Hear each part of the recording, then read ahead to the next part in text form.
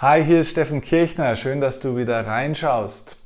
Die Qualität deiner Gedanken im Leben bestimmt die Qualität deines Lebensgefühls. Wenn du lernst, deine Gedanken zu kontrollieren, kontrollierst du dein Leben. Ganz einfach.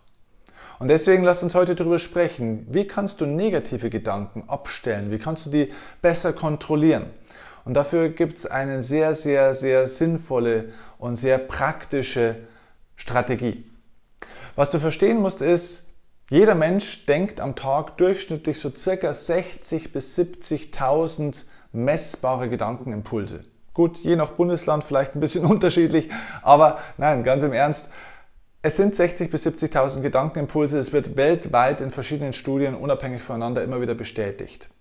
Und das Spannende ist, von diesen 60 bis 70.000 Gedanken sind nur circa 2% dieser Gedanken jeden Tag neu. Ja, das heißt also 98% der Gedanken, die du gestern hattest, hast du heute wieder. Und morgen auch. Und übermorgen auch. Und wenn du sagst, das kann ja nicht sein, das gibt's ja nicht, ich mache heute ganz was anderes als gestern. Ja, gestern war ich irgendwie in der Arbeit, morgen bin ich irgendwie beim Schwimmen oder beim Skifahren oder beim Bergwandern oder mit meiner Freundin oder mit meinem Freund unterwegs. Ich mache doch ganz was anderes. Ja, auf der Handlungsebene hast du komplett recht. Du machst ganz was anderes, jeden Tag. Aber auf der Mentalebene hast du nicht recht. Denn wir funktionieren durch Automatismen, wir funktionieren Gewohnheiten. Unser Gehirn ist dazu veranlagt, aus allen möglichen Dingen, die es kennt, Automatismen und Gewohnheitsmuster anzulegen. Das heißt, wir Menschen denken in Schubladen, hast du bestimmt schon mal gehört. Also ich gebe dir einfach mal ein praktisches Beispiel. Denk mal zurück an deine allererste Fahrstunde. Das war Wahnsinn, oder? Das heißt, du hattest noch keine Auto Automatismen im Kopf, du hattest noch keine Routinen, keine Gewohnheiten. Du bist das erste Mal in dieser Kiste gesessen, hast einen Schlüssel umgedreht und bist losgefahren. Und der Fahrlehrer hat reingequatscht und du solltest einen Spiegelblick machen. Hier, einen Spiegelblick da oben, ähm, blinken, das Wetter war irgendwie vielleicht komisch, dann, äh, Schein, äh, dann irgendwie hier noch äh, Regensensor an oder Schein, äh, wie sagt man, Scheibenwischer an. 5000 Informationen auf einmal, Bremsen, Kuppeln, Schalten. Es war ein Wahnsinn, oder? Es war total chaotisch. Aber heute ist es kein Problem. Heute kannst du mit 50 in der Kurve eine SMS schreiben oder mit 70 oder mit. Das würdest du natürlich niemals machen und das sollte man auch nicht machen. Aber du weißt, dass es rein theoretisch gehen würde, wenn du es probieren würdest. Ja, warum ist es so? Warum können wir heute ganz entspannt nebenbei Radio hören, uns mit der Partnerin oder dem Partner nebenbei unterhalten, draußen noch irgendwelche Straßenschilder oder Kinowerbungen lesen und trotzdem kommen wir sicher durch die Straßen. Ganz einfach, weil du nicht mehr bewusst Auto fährst. Weil diesen Automatismus dein Unterbewusstsein übernommen hat und sozusagen fährst du auf Autopilot. Und so ist es in den meisten Dingen im Leben. Das heißt, so verrückt ist kein Leben auf der Welt, dass wir jeden Tag komplett andere Dinge tun. Die meisten Dinge sind tatsächlich ziemlich ähnlich. Du sprichst jeden Tag die gleiche Sprache, du hast ähnliche Menschen um dich herum, du wachst in dem gleichen Körper auf, meistens auch neben dem gleichen Körper auf, je nachdem, ich weiß nicht, wie dein Leben aussieht, aber oftmals wachen wir auch neben dem gleichen Körper auf. Wir haben einen ähnlichen Job, haben ähnliche Abläufe, wir essen auch immer wieder ähnliche Dinge. Das heißt, die meisten Dinge des Lebens machen wir nicht zum ersten Mal. Und das Gehirn hat somit Automatismen aufgebaut. So. Und so funktioniert das jetzt auch mit unseren Denkstrukturen. Das heißt, von diesen 60 bis 70.000 Gedanken, die wir jeden Tag denken, gibt es eine ganz große Anzahl von Gedanken, die in bestimmten Mustern ablaufen. Also das heißt, wo wir auch eine Meinung dazu haben, da wo wir eine bestimmte Sichtweise, eine Perspektive drauf haben wo uns ein Mensch entgegenkommt und wir sagen, ach, kenne ich schon, der ist so und so und wir wissen die ganzen Charakterzüge von dem, da ist der positiv, negativ, den mag ich, mag ich nicht, der ist schwierig oder einfach, freundlich oder unfreundlich.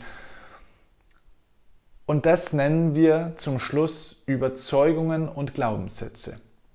Ein Glaubenssatz ist im Endeffekt nichts anderes als die Gesamtheit aller Dinge, die du lange Zeit über jemanden gedacht hast die du lange Zeit beobachtet hast zum Beispiel, die dir zum Beispiel aber auch gesagt wurde, die du gehört hast von jemandem über etwas. Manche Menschen haben Glaubenssätze über Dinge, die sie noch nie probiert haben. Ein Glaubenssatz ist eine Art mentales Programm, ist wie ein Computerprogramm, das entstanden ist durch Wiederholung.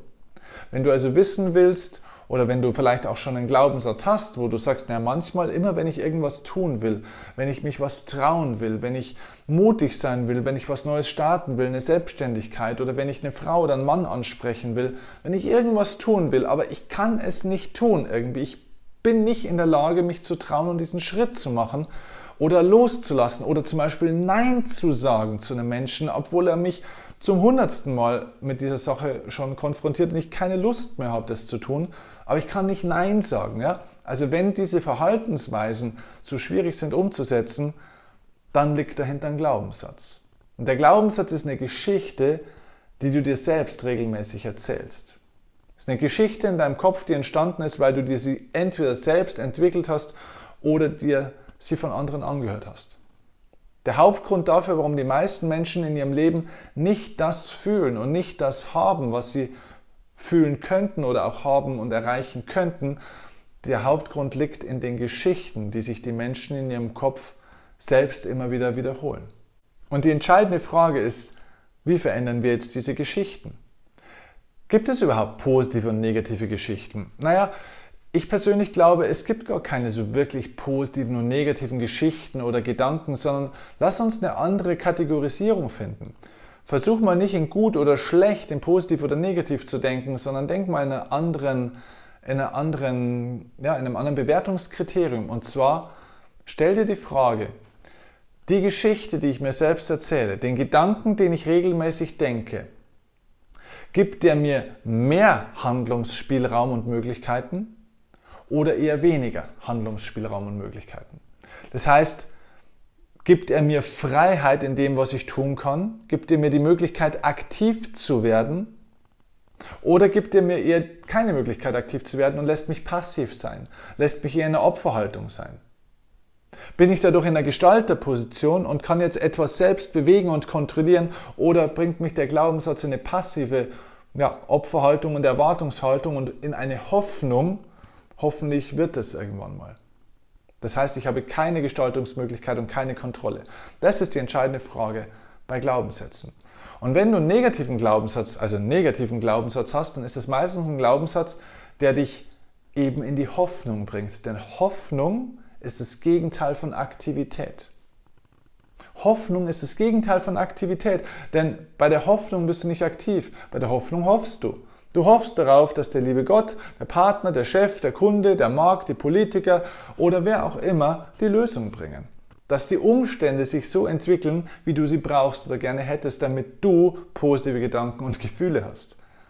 Und deswegen glaube ich, ist es sehr, sehr wichtig, dass du die Glaubenssätze veränderst in deinem Kopf. Dass du erstmal dir auch die Frage stellst, erstens, was habe ich für Glaubenssätze? Schreib die dir jeden Tag auf. Immer wieder, wenn du an einen Punkt hinkommst, wo du sagst, jetzt würde ich gern was tun, aber ich kann es nicht, Stell dir dann die Frage, was ist jetzt die Geschichte, die ich mir selbst erzähle, warum ich das nicht tun kann? Das ist der Glaubenssatz. Also was ist die Geschichte, warum ich glaube, etwas nicht tun zu können oder zu dürfen? Warum ich glaube, dass es nicht geht? Warum ich glaube, dass ich es nicht kann? Das ist der Glaubenssatz. Schreib dir diese Glaubenssätze immer sofort auf, wenn du an so eine innere Grenze praktisch kommst. Und dann stell dir die Frage, was für eine Geschichte müsste ich mir denn erzählen? Damit ich dorthin komme, wo ich wirklich hinkommen will? Was für eine Geschichte müsste ich entwickeln, damit ich mehr Handlungsspielraum bekomme? Vielleicht eine Sache noch abschließend dazu. Viele Menschen glauben, und wir streben ja alle nach Erfolg, viele Menschen glauben, dass das Gegenteil von Erfolg im Leben Misserfolg ist. Das ist ein sehr, sehr großer Denkfehler. Denn das Gegenteil von Erfolg ist nicht Misserfolg, sondern Passivität. Denn Erfolg, wie es die Weisheit der Sprache ja schon so schön sagt, bedeutet ja, dass etwas erfolgt. Das heißt, es ist eine Folge von etwas. Das heißt, es ist etwas Aktives. Ein Erfolg ist immer ein Prozess, ist immer einer aktiv, da passiert was. Und Passivität ist genau das Gegenteil von dem, dass etwas erfolgt. Da passiert nämlich gar nichts mehr. Wirklich gar nichts mehr. Deswegen Menschen, die nichts riskieren, die nichts ausprobieren, ja, die machen auch keine Fehler. Und bei denen passiert auch nichts. Und zwar gar nichts. Überhaupt gar nichts im Leben. Das heißt, stell dir die Frage, was für einen Glaubenssatz muss ich mir einreden oder muss ich entwickeln, muss ich mh, hm, auch oft genug wiederholen, muss ich in meinem Kopf erschaffen, damit ich in die Aktivität komme. Also Beispiel ganz kurz noch von mir.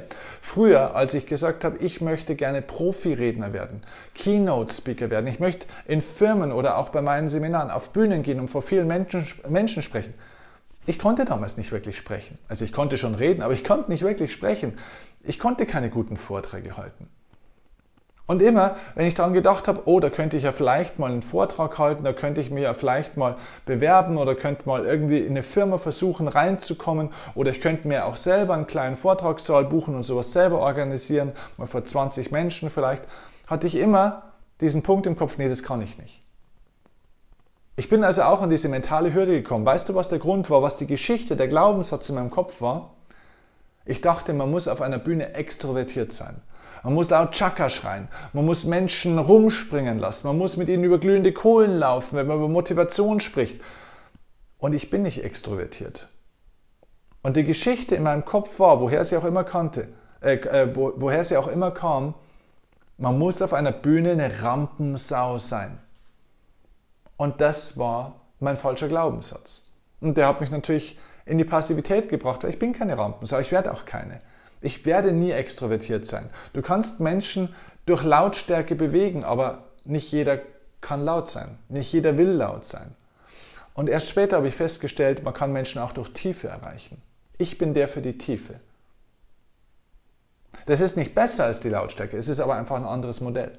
Manche bewegen Menschen durch Lautstärke und durch Aktivität, durch Action, durch glühende Kohlen, durch Chakra, durch Rumspringen, okay? Und manche durch die Tiefe sind zwei unterschiedliche Dinge. Und erst als ich verstanden habe, okay, ich möchte Menschen mit Worten bewegen und nicht einfach mit anderen Aktivitäten, was ich nicht bin, sondern ich möchte sie mit Worten bewegen. Auf einmal war für mich klar, ich muss lernen, Worte so gezielt wählen und formulieren zu können, dass ich Menschen damit innerlich auch bewegen kann. Und das war der neue Glaubenssatz. Ich kann Menschen auch mit Worten bewegen, wenn ich es anfange, mit Worten zu können, also zu lernen, das mit Worten zu können. Das heißt wirklich über die Sprache und nicht über die Show. Und jetzt war ich in der Aktivität.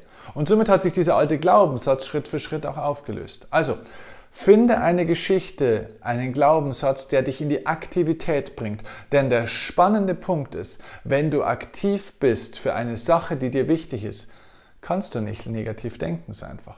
Denn negative Gedanken kommen meistens dann, wenn der Körper nicht viel tut.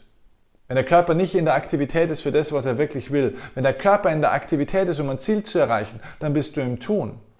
Und dann kannst du nicht so leicht negativ denken. Negatives Denken, Depressionen, schlechte Gefühle kommen meistens in der Passivität. Wenn wir auf etwas hoffen, wenn wir auf etwas warten, wenn wir uns irgendwas wünschen. Wenn wir aktiv sind, dann stimmt der Fokus. Also deswegen richte deinen Fokus aus und verändere deine Gedanken. Krieg Kontrolle über deine Gedanken und stell negative Gedanken ab, indem du deinen Fokus auf eine positive Geschichte, auf einen positiven Glaubenssatz ausrichtest, der dir mehr Möglichkeiten gibt, der dich in die Gestalterrolle, in die Aktivität bringt, wo du etwas unter Kontrolle hast, was du tun kannst für das, was dir in deinem Leben wichtig ist.